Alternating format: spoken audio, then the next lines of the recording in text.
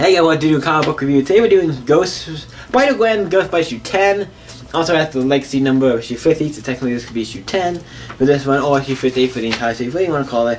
Kinda suck. I'm like, oh, this book would have been cool if Spider-Gwen actually got a 50 issue run. Like, Spider-Gwen got a 50 issue one. That'd be pretty cool. Technically, you kind of cut the dust of, like, you know, technically does, and I'm like, the book lasted 50 issue technically, because it's doing the legacy number. So technically, the book has lasted so far 50 issues. That's surprising enough that the character has lasted for 50 issues. Not a lot of comics, especially on Marvel, get the last 50 issues or anything else this long. Uh, for particularly a character like this, so I'm actually super glad this book happened. Also, we're gonna get into this. Let's get into it. The cover's really cool. It looks like he's equipping Spider-Gwen. Is he? Is he not? Let's open up and see what happens in issue 10.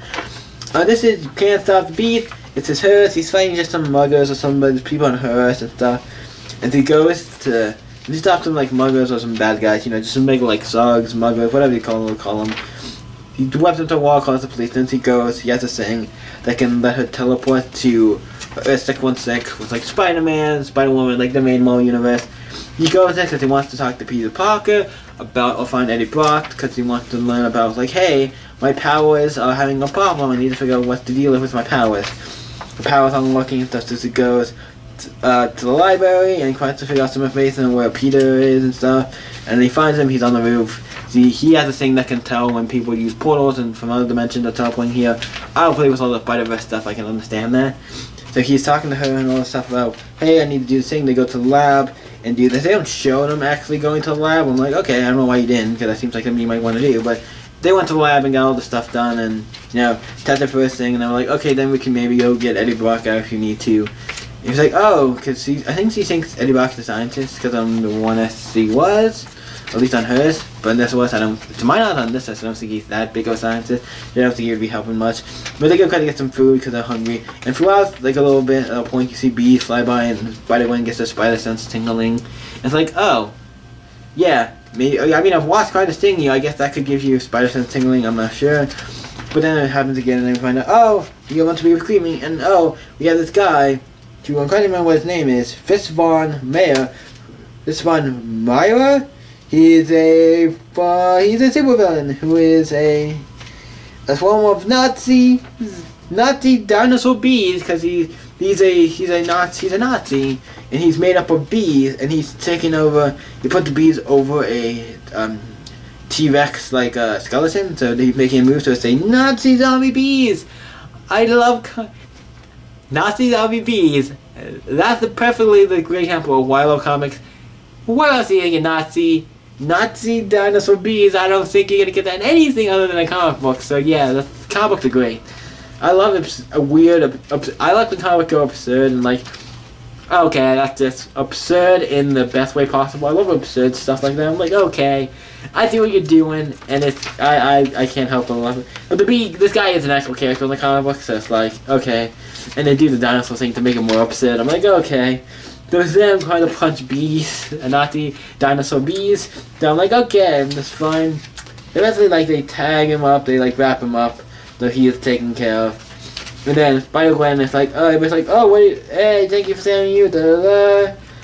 Uh, and then he's like, who are you? And then she says, Ghost Spider. I'm like, oh, is he finally calling himself Ghost Spider? That's what this entire book was called, Spider-Gwen Ghost Spider. And now we're finally giving her to be called Ghost Spider he was like, "I make sense because once he's in this universe, says he can't call himself Spider Woman. He says that like I can't call myself Spider Woman in this universe because, well, Spider Woman's already here and he would probably kill me. So yeah, no. And he talked about how this might because he found out Spider Man goes to World University. I mean, so he talked about how he might try to go to school and stuff, and he needs to wait to get a pass picked up. Then to go back to her, and then with her going back to hers on the last page, just swinging around hers. But it seems like um, he's going to come back, because that's where the book ends. But it seems like in the next issue, well, surprisingly enough, the last issue. Kind of, because next month, this came out this month, this came out in July, uh, next month in August, comes out, Spider-Gwen comes back, it's just Ghost Spider, and it'll be issue one. It seems like she's going to be in the Marvel main universe now, and she's going to be, because there's Miles Beyond Man that talks about her going to school in the main Marvel universe.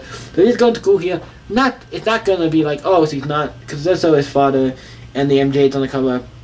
And the assuming is she's probably gonna be maybe it's gonna be it's gonna be in both now. It's gonna be the main universe, like the school and everything, and then you'll see her probably go over to meet her dad or the band and other stuff and maybe stuff like that. So, they can teleport to each world, so she's gonna stay there and like I'm gonna stay here, go to school and all this stuff, and then I'll come back to like see my dad and friends and stuff. So I was like, he's gonna be in the main universe, and I'm like, great, cause we needed another Spider-Man in the main universe. We have so many. We have Silk, Spider-Man, uh, probably Ben Reilly, I think. Uh, we have Miles Morales, we have Spider-Man. That's five. Do we need six? Do we? And probably more. There's Kaine, maybe. If he, I don't know who. I'm not that big on Spider-Man. I know like all the Spider-Mans and what Spider-Mans are where. I know like the main ones, like a lot, most of the ones I just said. I don't know anything about Kaine and Ben Reilly, what they're doing. But I know we have Silk. I know we have Spider-Woman, Spider-Man, and Miles Morales. That's at least four already. That's probably four too many. But yeah, uh, what do I think of this book as being kind of technically because it is kind of the last issue? So what do I think of this book as an ending? I think it's fine for an ending. It's one of those endings it's good, but also feels like it's setting up for the next series. But it's just coming out next month, so it doesn't feel like this book is ending because it's like it's coming back like next month immediately. Like this book is selling, I think enough to where it's like, hey, like what I'm saying is the book feels like it's just selling enough that they can this book they just we're gonna keep continuing even if we feel like this runs end or this artist like or writer wants to finish his run like this run dead we're gonna get another writer to pick somebody else on. I don't know if the next book is gonna have a new writer or anything, but this book looks really cool. So I'm excited. Uh, what do I give Spider Gwen Ghost Spider? I've been really enjoying this. I think this is an okay fun way to keep it on. I mean, it's not technically issue, so I mean, it is for this particular you could say run, but the next issue, uh, I don't know if the next issue is going to continue the legacy number, because if it does, then technically this book is not even, this is not even the last issue. It is for this, maybe you could say 10 issue run, because it does have the 10 there, but for like the legacy number, if that, I hope it continues, because this book, I would love this book to get to like, at least to have the legacy number get to 100. That'd be cool if this book lasts 100 books. But technically, the book would have 100 issues by that point. Well, we have to 50, what's more than I thought this book would get. And I don't know what that's counting, so yeah. I forget what the legacy number's counting, but yeah, this is 50. Oh, you have to 50, so fucking sweet, tweet on this. And there's probably some more. I don't think it's counting like the first five issues of the miniseries and a couple other things it's not counting. So yeah, so 50 issues, it's good. Uh, Spider Gwen, this issue as what do I rate this? I like this. I don't think it's like is it the best issue ever. I would say I don't know. It's interesting, and her being in Marvel universe is interesting because he's not going to be. We're not going to have all the characters from hers, but I think it's very fun. I'm giving this book a. I gotta give it like an eight or nine. I gotta give it. It's a solid eight. Not bad. Not bad. I enjoyed it. I had a lot of fun with it. Also, the Nazi, Nazi dinosaur is always going to be something I'm going to be now. Have, I have to. I feel like I gotta bring that up. Nazi dinosaur bees. I gotta bring that up in every conversation now. I gotta bring that up in conversation now because that's just fucking awesome. And that that made this book an A. That alone, if it wasn't for that, book would have been like us probably. But it would have been an A because the book is just solid, and I don't think the book is ever to go down past an A. And yeah, so I enjoyed Spider-Gwen Ghost Spider. Let me know what did you think of Spider-Gwen Ghost Spider issue 10 or Legacy issue 50, whatever you want to call it. And also this is the last issue. What do you think of this last issue for this particular run? And what do you think of next month's issue 1 and stuff? Or what do you think about Spider-Gwen in general, this series, any other series? Just what do you think about this particular book and maybe that Spider-Gwen stuff? Let me know in the comments below and let's talk about it. Until next time guys, bye.